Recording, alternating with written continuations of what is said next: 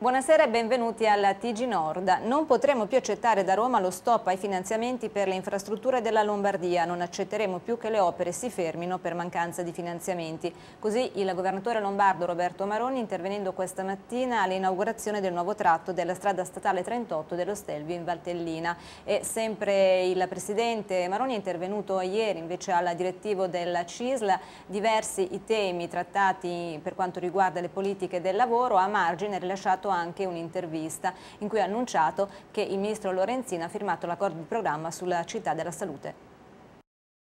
Con piacere che il ministro ha firmato, bene, era la firma attesa, eh, quindi può partire eh, il progetto come avevamo previsto. C'è stato un blackout informativo che però è stato risolto grazie all'impegno del Ministro con cui ho parlato ieri e oggi, quindi stasera il Consiglio Comunale di Sesto potrà ratificare e partirà tutto come previsto. È un impegno forte della Regione, del Ministero, degli enti locali, sono molto soddisfatto che si sia conclusa finalmente la fase eh, preparatoria, adesso partirà, partiranno le bonifiche a settembre e con i tempi previsti si procederà alla realizzazione di questa che è un investimento rilevante per la Regione Lombardia e un'altra struttura di eccellenza quando sarà realizzata.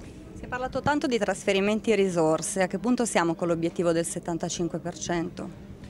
Beh, pensare che il governo di Roma eh, sia disponibile a trasferire, a lasciare tutte le tasse in Lombardia è un, è un pensiero utopistico. Dobbiamo lottare per questo e ci stiamo attrezzando per farlo perché l'obiettivo è l'obiettivo di legislatura come è scritto nel programma di governo e, e risolve tutti i nostri problemi. Quindi questo è l'obiettivo principale che io ho e, devo, e voglio creare una grande alleanza dei territori perché Roma capisca che questo è utile per noi ma è utile per tutte le regioni. Non è il ragionamento del nord contro il resto d'Italia, ma è potenziare la locomotiva perché tutti gli altri vagoni ne abbiano un beneficio. Se Roma capirà finalmente che questo è utile per tutti avremo risolto il problema, cercherò di farglielo capire. Capire anche sulla sanità a Roma, in conferenza Stato-Regioni, lei ha parlato di modello lombardo virtuoso, però ancora sembra che non sia così vero. Sì, ho visto che il governo ieri ha fatto il decreto sulle regioni benchmark a cui fa riferimento e la Lombardia è quarta. Peccato che le prime tre regioni hanno ricevuto contributi dal governo per ripianare i conti e la Lombardia no, mai.